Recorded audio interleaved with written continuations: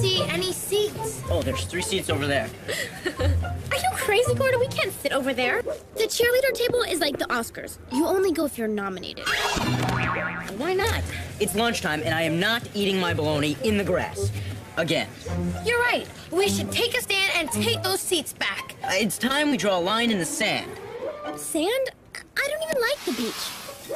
Um, Gordo, are you and your friends a bit confused? This is the cheerleader only zone? Bye-bye. You know what? The cheerleader act is running a little thin. I, I think it's time for things to change around here. Cheerleaders and non-cheerleaders can sit down and eat at the same table. You know what? I'm staying.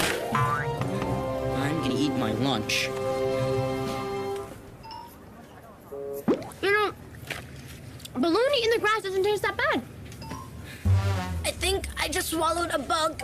It's not that I dislike Kate, I just hate everything she represents. I just wish one time she would know what it feels like to sit in the grass. It feels scratchy and wet. Five, six, seven, eight. One, two, Great. It's not bad enough that we have to sit and eat in the grass. One, Now we have to watch them. four, five, six. I hate picking ants off my cheesy puffs. I wish that someone would come along and knock her right off her pedestal. Where's a big gust of wind when you need it?